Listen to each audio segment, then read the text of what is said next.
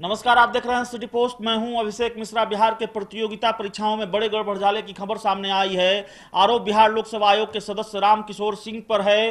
आरोप इतने गंभीर हैं कि उनके खिलाफ एफआईआर दर्ज हो गई है। इस मामले के सामने आने के साथ ही यह सवाल, यह बात खुलकर उजागर हुई है कि बिहार के प्रतियोगिता परीक्षाओं में किस हद तक धांधली होती है या होती रही है। बिहार लोक सेवा आयोग के सदस्य रामकिशोर सिंह पर आरोप है कि उन्होंने इंटरव्यू में नंबर बढ़ाने के लिए 25 लाख रुपए की रिश्वत मांगी। इसका ऑडियो भी रिकॉर्ड किया गया और आवाज़ के नमूने की जाँच की रिपोर्ट भी सामने आ गई है। जाँच में ऑडियो को सही पाया गया है। मीडिया रिपोर्ट्स के मुताबिक जिस व्यक्ति से इंटरव्यू में नंबर बढ़ाने के लिए 25 लाख रुपए की मांग की गई, वह देने के लिए तैयार नहीं हुआ और उसने निगरानी में इसकी शिकायत कर दी।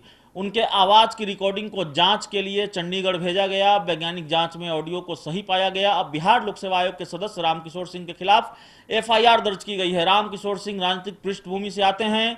वे 2006 से 2012 तक बीजेपी कोटे से बिहार विधान परिषद के सदस्य रहे। 2013 में उन्होंने बीजेपी से इस्तीफा दे दिया। दरअसल उन्होंने गुजरात के तत्कालीन मुख्यमंत्री नरेंद्र मोदी पर कोई टिप्पणी कर दी थी, जिस पर विवाद बढ़ा और उन्हें पार्टी से इस्तीफा देना पड़ा। वे अरवल के रहने वाले हैं और बीडी यूनियन कॉलेज में प्रोफेसर रहे हैं। इस खबर में इतना ही। अगर आपको हमारी ये खबर अच्छी लगे तो इसे अपने दोस्तों के साथ शेयर करें। हमारे यूट्यूब चैनल को सब्सक्राइब करें।